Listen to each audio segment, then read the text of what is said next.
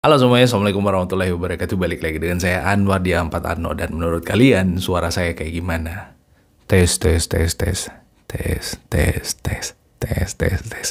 Enak tidak didengarnya jadi uh, saya punya tips kali ini yang bakal saya bagikan ke teman-teman semua tentang gimana caranya supaya uh, suara yang dihasilkan oleh video itu bisa benar-benar clear bisa seperti dengan kualitas suara podcast profesional lah menurut saya dengan uh, uh, apa dengan tools yang super duper murah.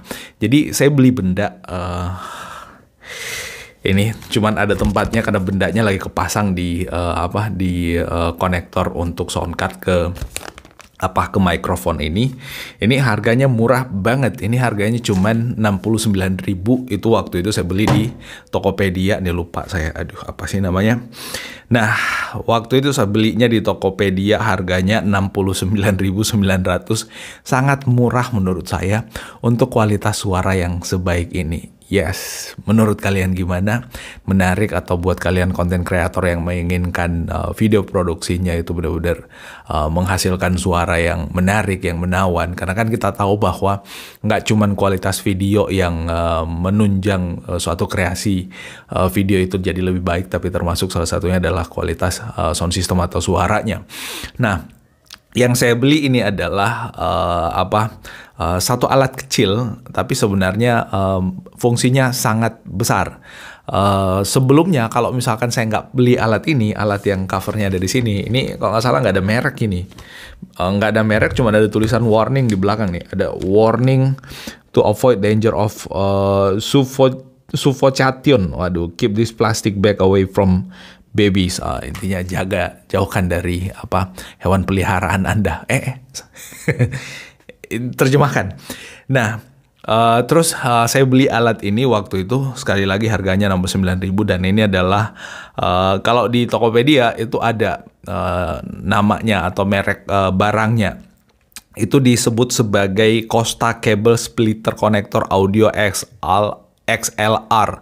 XLR female to dual XLR Mel Premium. Jadi uh, sebelum saya beli ini, jadi ceritanya singkatnya saya punya uh, alat waktu itu saya beli sebelum uh, apa sebelum uh, saya jadikan sebagai alat utama untuk uh, membuat video produksi di sini. Sebelumnya saya pakai buat uh, apa cover lagu gitu kan ada di Instagram atau di uh, apa di akun YouTube saya yang lainnya dan uh, setelah kemudian saya ngerasa aduh nggak ada waktu yang banyak untuk cover lagu atau yang lain-lainnya akhirnya saya pakai gimana caranya supaya alat ini nggak sia-sia gitu kan Nah, saya beli waktu itu uh, sound card, jadi udah lama uh, sound card itu uh, yang mereknya Focusrite dengan uh, mic, jadi Focusrite uh, Studio Studio One kalau nggak salah mana tuh? Oh ya, kebetulan ada tempatnya di sini.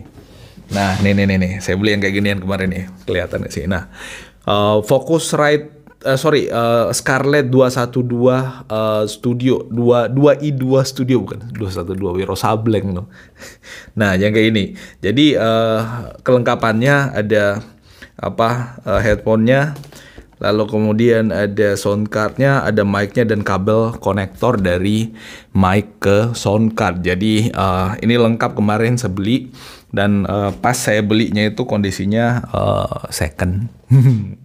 lumayan. Nah, budget pas-pasan bisa menghasilkan kualitas yang uh, premium. Ya itu yang kita harapkan itu yang saya harapkan juga. Dan kalau kalian lihat itu kabelnya. Ini ya ini kalau kalian lihat di sini mudah-mudahan kelihatan jelas ya. Ini kan sebenarnya ada dua input dari mic Nah, ini uh, bisa satu buat mic, bisa satu buat uh, jack atau dikoneksikan ke gitar, uh, gitar akustik atau gitar elektrik yang kalian punya gitu kan. Nah, gitar akustik kebanyakan lah ya. Nah, ini bisa dua atau bisa dua-duanya mic, mic, mic atau bisa dua-duanya gitar-gitar gitu, tergantung konektornya. Nah, ini ternyata ternyata itu uh, kalau misalkan cuma satu dipakai buat uh, bikin video kayak gini, buat uh, recording video melalui uh, handphone. Jadi by the way, ini video ini saya buat atau saya rekam hanya menggunakan handphone, handphone uh, ya mid range lah, bukan uh, handphone kelas mahal. Tapi ya menurut saya kualitasnya udah lumayan lah ya. Jadi uh, waktu itu saya pernah coba satu aja. Jadi uh, satu mic ini koneksikan ke satu uh, colokan mic yang ada di Focusrite dan ternyata hasilnya suaranya itu nggak stereo. Jadi kalau misalkan di handphone sekarang kan kebanyakan ada suara yang di uh, keluar dari atas dengan yang ada di bawah gitu. Kalau handphonenya dibikin kayak nah ini ada handphone. Jadi handphone ini aduh jadi ribet. Nah, handphone ini kalau stereo itu ada di atas, ada di bawah juga suaranya kan.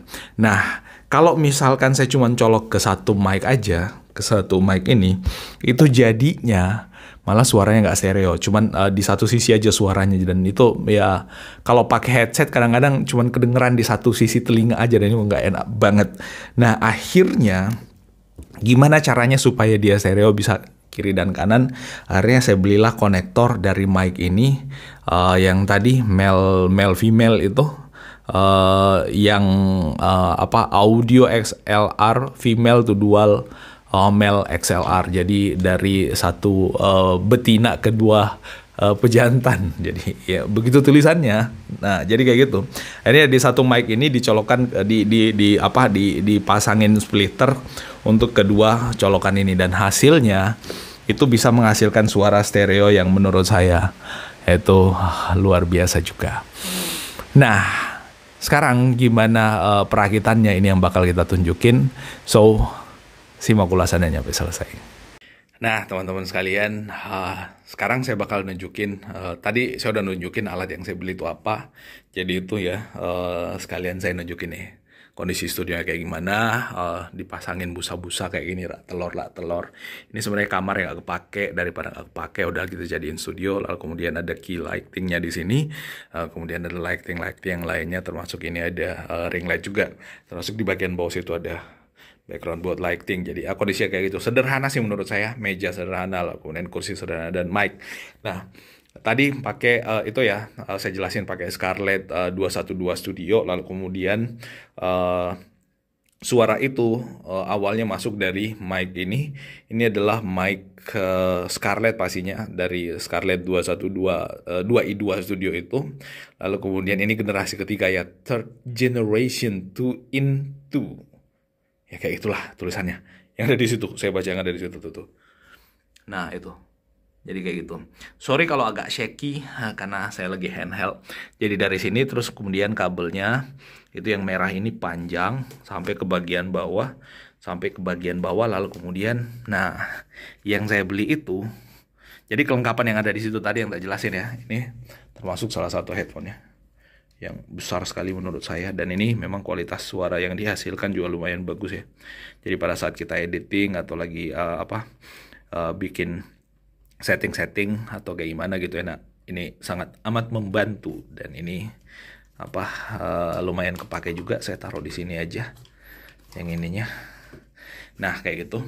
Lalu kemudian tadi balik lagi ke kabel, lalu kemudian yang saya beli itu splitter. Nah splitternya itu yang ini nih yang hitam splitter. Jadi ini adalah Focusrite uh, yang saya beli waktu itu sekali lagi belinya second. Lumayan kualitas uh, suaranya juga sangat amat bagus menurut saya. Sebelumnya saya beli Focusrite yang kayak gituan yang murahan akhirnya nggak kepake. Udahlah dijadiin tumpukan barang yang nggak tahu nanti bakal kepake apa enggak. Uh, termasuk ada mic-nya juga di situ dan itu kalau salah Tough Studio. Uh, waktu itu beli uh, hasilnya nggak begitu memuaskan akhirnya tak simpen beli lagi yang kayak ginian ya wasting money sebenarnya tapi ya udahlah yang namanya kita uh, belajar uh, mending gagal dalam berusaha daripada gagal tapi nggak berusaha. Ya nggak? Menurut kalian gimana? Tuliskan di kolom komentar ada di bawah. Nah terus uh, sekali lagi tadi kalau misalkan ini langsung dicolokin ke salah satu uh, uh, ini salah satu input audio, input mic-nya di sini, maka jadinya suaranya jadi uh, sumbernya dari satu uh, arah aja itu nggak stereo dan nggak enak banget. Jadi ini pakaiin splitter, splitter, uh, lalu kemudian masuk ke dua colokan audio ini dan ini volumenya bisa disetting dari sini dua-duanya. Jadi benar-benar suara yang dihasilkan tuh luar biasa. Lalu kemudian gimana caranya ini bisa koneksi ke handphone?